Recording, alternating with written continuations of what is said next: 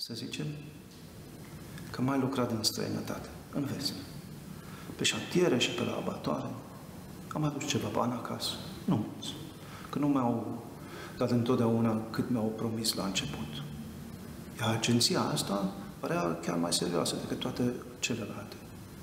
Și leafa care au promis-o era în regulă, mai mult ca de obicei. Normal că eu m-am mirat când au spus că e vorba de lucru în Turcia, dar n-am mai întrebat, fiindcă eu nu sunt de la care întreabă, în dreapta și în stânga. Așa, la Istanbul, m-au dus într-un hotel de asta mai ieftin și mi-au luat pașaportul. A doua zi urma să mă duc pe șantier să lucru. Iar eu am ajuns la spital. Aici mi-au zis că de fapt nu e vorba de lucru, ci de rinichi. Rinichiul meu. 5.000 de euro. M-am conformat. M-am întins pe un pat de la de spital, pe lângă un paravan.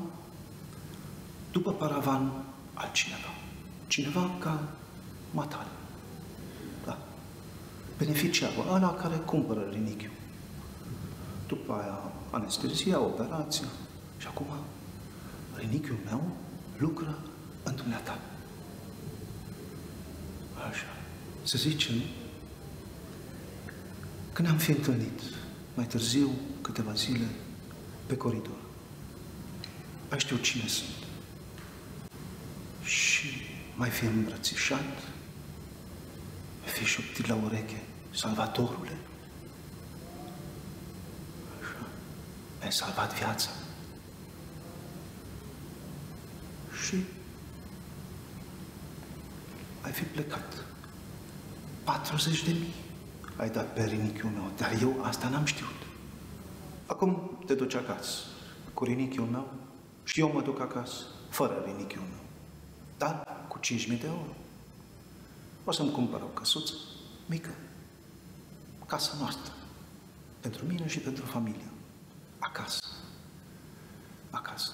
Acolo o să stau, o să stau, că de lucrat nu mai pot să lucru, toată puterea, toată vlaga s-a dus cu rinichiul.